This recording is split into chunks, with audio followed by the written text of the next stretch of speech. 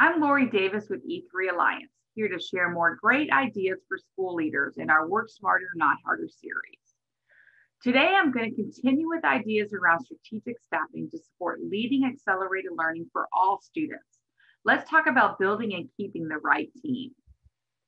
To serve the mission and achieve the vision of your school for your students, you'll want to make sure the highest quality professionals are engaged and working with a system of shared beliefs. How do you do that exactly? It begins with leadership decisions about your current instructional staff. First, evaluating the teacher assignments as they are to ensure optimal ratios, and then looking for flexibility and teachers who could support acceleration periods through teaching, push-in, or partner assignments. Next, consider which teachers would thrive when asked to specialize in accelerated learning roles. These would be those who are strong in building relationships and have demonstrated success with struggling learners. Remember, to accelerate learning for struggling and on-level learners, we must be willing to let go of an intervention remediation mindset and use our content knowledge to pre-teach or prepare students for success in on-grade level learning.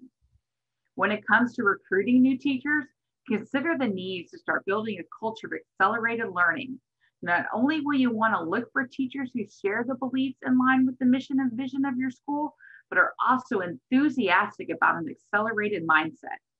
One way to do this and ensure you are recruiting the best teachers for your students is to use a letter to applicants, ensuring transparent communication from the beginning. For example, anyone who applies to work at your school could get a letter detailing the most critical beliefs, policies, practices, and commitments ahead of time before even scheduling an interview.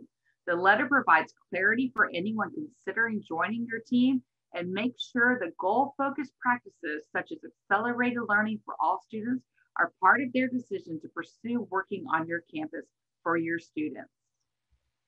Thanks for watching today. Please share this video with others and visit our website. We'll see you next week for more on leading accelerated learning for all students.